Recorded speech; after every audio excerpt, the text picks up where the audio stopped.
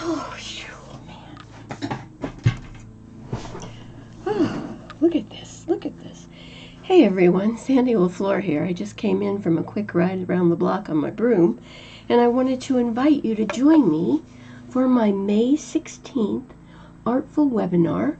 I am going to be teaching this Broom Hair Don't Care project. Halloween. I love Halloween. So my registration opens on April 1st, April Fools.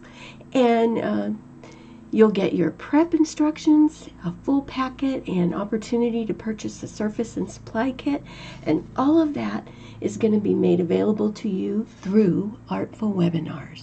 So just go visit artfulwebinars.com and sign up for my Broom Hair Don't Care class. I'll see you then.